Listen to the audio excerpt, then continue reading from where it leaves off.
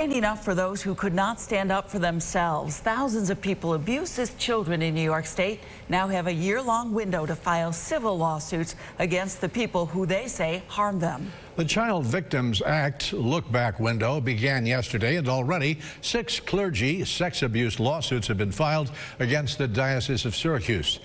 News Channel 9's Nicole Somavilla tonight has a message from those representing the victims. These stories are horrendous, horrible horrible stories. For the first time under the Child Victims Act, survivors have a chance for their truth to be heard and their privacy to be protected. But it's really not about sex. It's about power. It's the power that the trusted authority figure has over the child. Jeff Anderson is representing 22 survivors right now and encouraging those still suffering to come forward and get the hope, help, and healing they deserve. Now gives them the opportunity through their truth and their voice and the law reclaim their power. They were altar boys. They were born and, and grown up in the faith and part of the faith is the priests. And to them, these were men of God.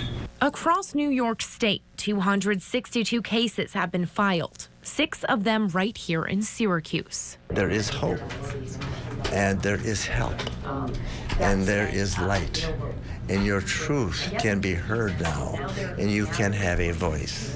These attorneys calling it a shift in power and calling on our community to protect the children of today who will become the adults of our future. In Syracuse, Nicole Somavilla, News Channel 9. And one of the offenders publicly accused this week is Father Wilhelm Galli, a member of the Diocese of Syracuse. The chapter releasing a statement that reads, in part, the diocese has no prior or current knowledge of any accusation against this priest who died in 1994.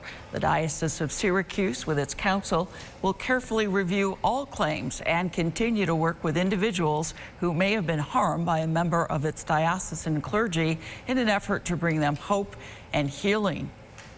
Make sure to download the News Channel 9 app. You can read that statement in full and see a breakdown of the cases filed in New York State.